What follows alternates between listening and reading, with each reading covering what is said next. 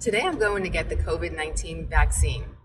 I wanted to make this video because I felt like I wanted to share my own experience to help others realize the process and to answer any questions that others may have and any fears that some people are going through right now, debating if they're going to get the shot, if they're not going to get the shot. I have spoken with so many people, and a lot of people want to get the shot, but there are a lot of people who are very scared to because they don't know what's going to happen. They don't know how they're going to feel afterwards, if it's going to leave any damage to their body. But for me, I have epilepsy, and I felt that it would be a good idea for me to get it because I was unsure how I would feel and what would happen to me if I did get the virus.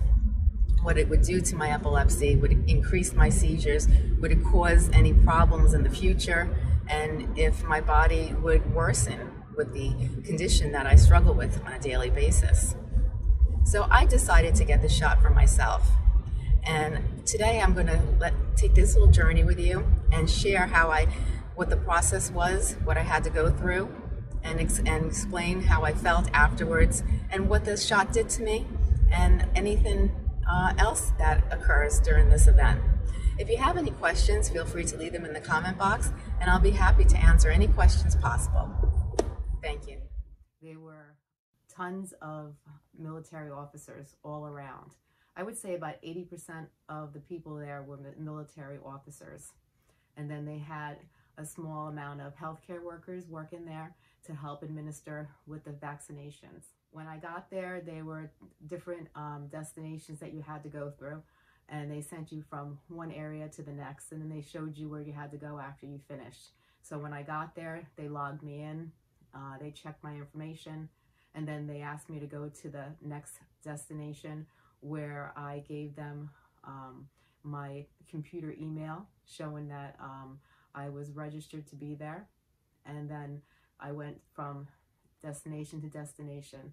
Then finally, when I got to the health care workers, they sat me down and they asked me about um, my personal medical history. They wanted to make sure that I didn't have COVID recently because it's not good to get a COVID vaccine when you just recently had the virus. So they asked me about that. And they also asked me other questions uh, regarding if I had any allergies or any allergic reactions to any specific things. And as, after I answered all the questions, I had a couple of questions of my own. And I suggest that you also um, consider uh, writing down some questions. If you're concerned about certain things or you want to know certain things before you get the shot, write them down and then ask them so they can give you the appropriate answers. Because sometimes you don't always get the exact answers you need on the internet, or you might not get them from good resources. Just so you make sure you get the, the right answers, write some questions down and ask the people who do this for a living, the people who know their material, who know their, um, their topic, and can give you the uh, right answers to the right questions. Then once I had asked my questions and they were answered, I had um, uh, lifted up my arm sleeve so she can give me uh, the vaccination. And she gave me the vaccination. And then she um, asked me to go to a different location where they had me sit down for 15 minutes to make sure that I didn't have any type of allergic reactions. And once I was cleared, they let me go. Uh, during the car ride home, I felt a little fatigue but I didn't, it wasn't anything major. I didn't have chronic fatigueness. Um, I only had uh, just a little bit of slight tiredness where my eye, around my eyes, I felt a little tired and I started to feel, uh, you know, just a little bit, uh, you know, on the drowsy side where I felt like, you know, I needed a little nap. So when I got home, I took about an, a nap for about an hour. Then I got up and I felt fine.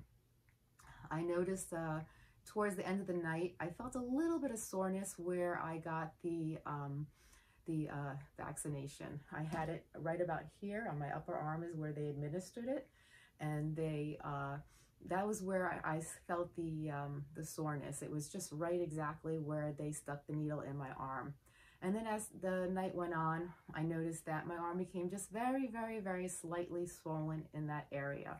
Probably from this up was a little bit swollen and a little sore.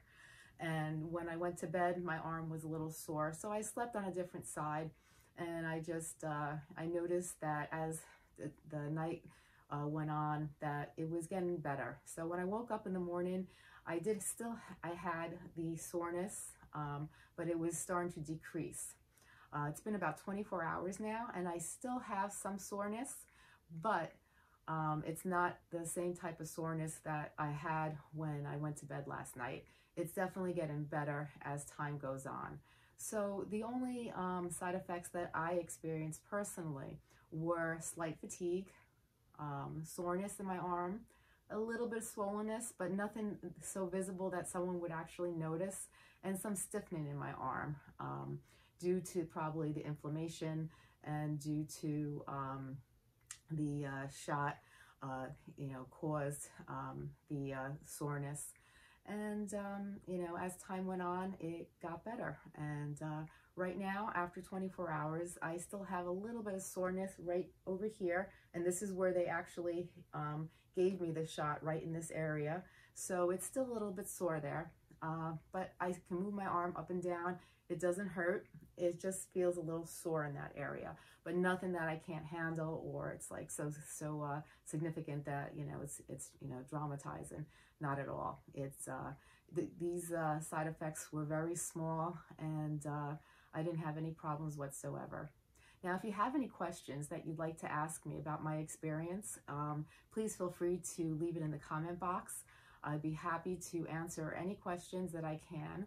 Um, I wanted to actually take more pictures and show you more things, but due to the other people that were there getting their shots and to respect their privacy, uh, they asked everybody there uh, to please put their phones and cameras away so we could all respect each other's privacy.